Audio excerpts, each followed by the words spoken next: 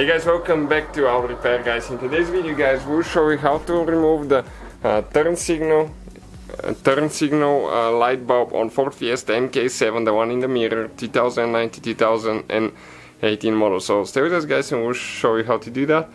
Also, we have more than 200 videos taking that whole Fiesta apart. So please subscribe guys for all the work we do and many more videos to come. So first, you need to turn the mirror all the way to the left, all the way to the left and down. Okay, now let's go down. Okay, perfect, just like that, that's it, right there. Now, let me show you what else we need to do. You can go ahead and flip the mirror like that on the side so you can work on it.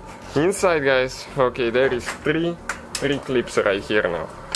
Okay, you can see one where the light is, second one, and third one. Now that that one in the corner, okay, right there, this one in the corner right there, you can see it's actually not exposed. Okay, let me see, uh, let me show you. It has that cap on top of it. Okay, like that. And you will not be able to see the clip from it. Okay, because the cap is covering.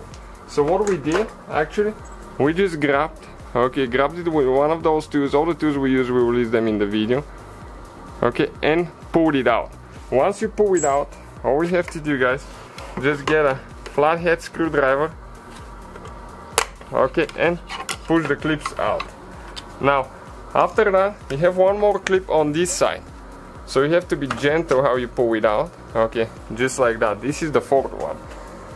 The other three are those right here you can see eh? we remove the cover out of the way.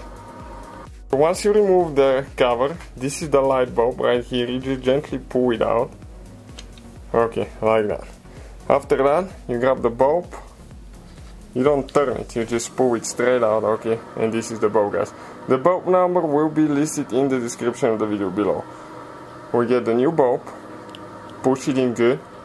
We need to make sure that the seal is all the way in. Okay like that. And now we need to install the cover on top. Now the cover. It goes only one way. Okay you need to make sure that the clips are all the way in. On this side you have we have that clip right here. So you need to make sure that it goes in. Good. Okay. After that you need to make sure all the clips are in.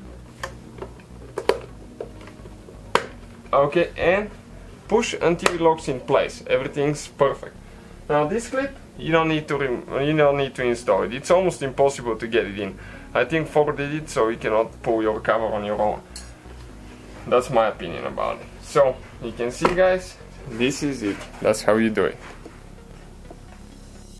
So that's how you guys remove and replace that turn signal light bulb. Thank you guys for watching. Please subscribe and many more videos to come.